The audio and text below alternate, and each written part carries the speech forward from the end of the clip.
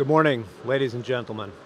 On behalf of all of my colleagues at Fette Compacting, I would like to welcome to our booth here at Interpack 2017.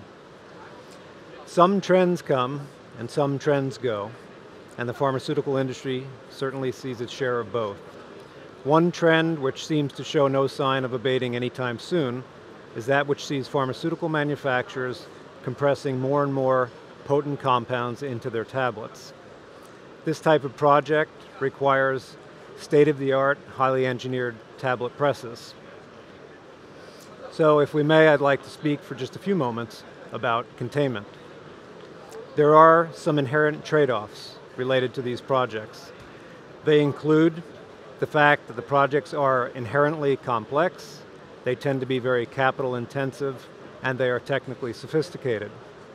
Rarely do you see similarity from one project to the next, and project life cycles tend to be prohibitively lengthy.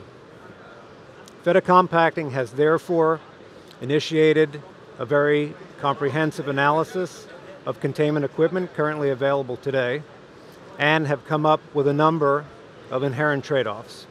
These include the fact that established measurement procedures lack definitive parameters, reproducibility is rare, and there really are no established standards.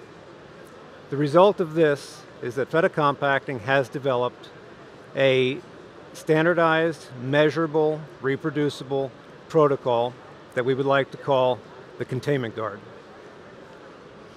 The containment guard is a unique and powerful analytical tool that seeks to attach a finite containment parameter to a specific piece of compression equipment.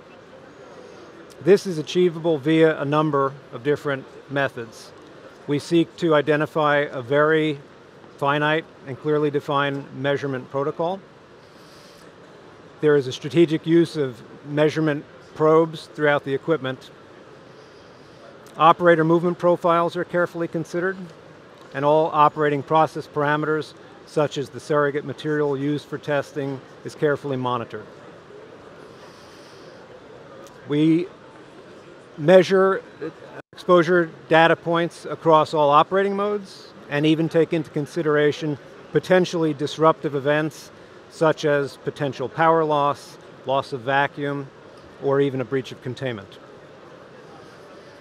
The result, at the end of the exercise, is the provision of an actual containment guard certificate, which attaches a concrete, finite containment point to a specific contained tablet press.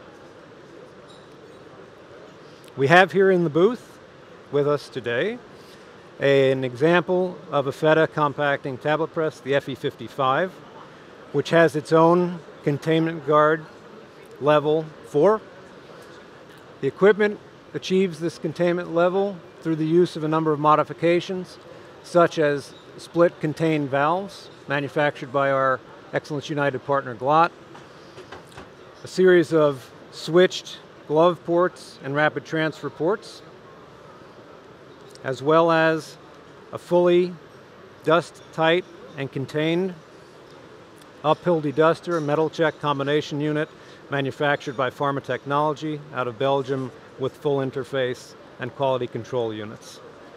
So again, the end result of the containment guard is the marriage of a finite containment point to a specific client's containment need.